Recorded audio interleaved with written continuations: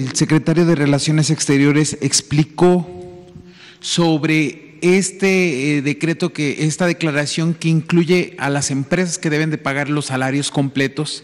A mí me gustaría preguntarles si esta declaración de por urgencias mayores implica que no se aplique la ley del trabajo. ¿Esto por qué?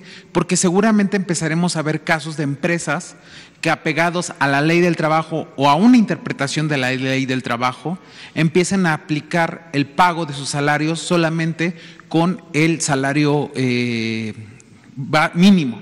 Entonces, a mí me gustaría, canciller, presidente, primero, si pudieran detallar específicamente si es esta declaratoria por un asunto mayor la que implica que a los trabajadores se les pague completamente su salario por 30 días, por favor.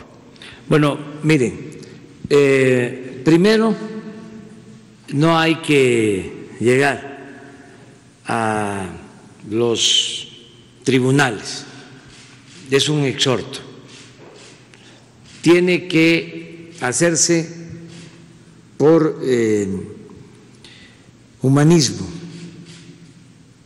tiene que hacerse por fraternidad, por solidaridad. Ese es el llamado que estamos haciendo. Eh, en cuanto a lo legal, es una cuestión de interpretación. Eh, en una reforma que se hizo a la Ley Federal del Trabajo, se estableció que en casos de emergencia sanitaria se puede pagar salario mínimo durante un mes. Pero el llamado no es a el litigio, el llamado es a la solidaridad verdadera